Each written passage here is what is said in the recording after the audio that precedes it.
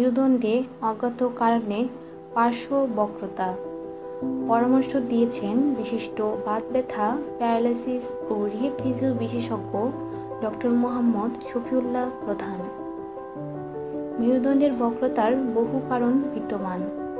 জন্ম থেকে বৃদ্ধকাল পর্যন্ত তন্মধ্যে পার্শ্ববক্রতার শতকরা সত্তর ভাগ শৈশবে কৈশোরে অজ্ঞাত কারণে হয়ে থাকে। এই অজ্ঞাত কারণজনিত মেরুদণ্ডের পার্শ্ববক্রতায় প্রতিরোধ ও রক্ষণশীল ব্যবস্থা হিসেবে ব্রেস ও ব্যায়াম দেয়া হয়ে থাকে। এই অধ্যায়ে মেরুদণ্ডের বক্রতা দেখা যায়। অপর পাশে কাত হয়ে হাঁটে। পৃষ্ঠিত মাংসপেশির অসমতা ও দুর্বলতা পরিলক্ষিত হয়। সাধারণত বক্রতা ক্রমেই বৃদ্ধি পায়। দেহের সৌন্দর্য হানি হয়। প্রাথমিক অবস্থায় সাধারণ কাজকর্মে কোনো অসুবিধা হয় না। পরে শোয়া, চলাফেরা ও কাজকর্মের কষ্ট হয়। রোগী মানসিকভাবে দুর্বল হয়ে পড়ে।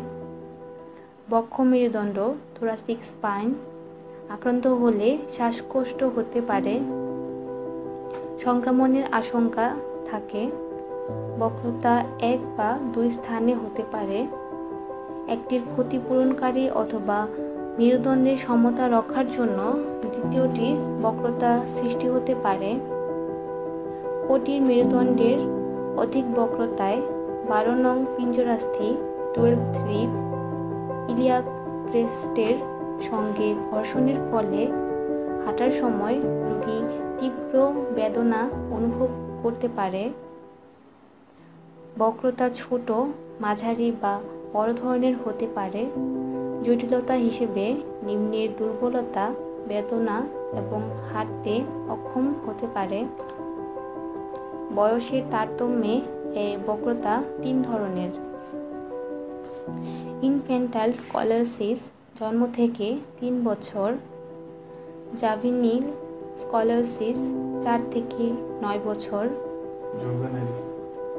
জুভেনাইল স্কলারসিস চার থেকে নিয়মিত স্বাস্থ্য বিষয়ক আপডেট ও পরামর্শ পেতে আমার ইউটিউব চ্যানেলটি সাবস্ক্রাইব করুন ও উপরের ডান পাশের বেল বাটনটি চাপুন এবং আপনাদের অন্যান্য সোশ্যাল মিডিয়ায় এই ভিডিওটি শেয়ার করুন।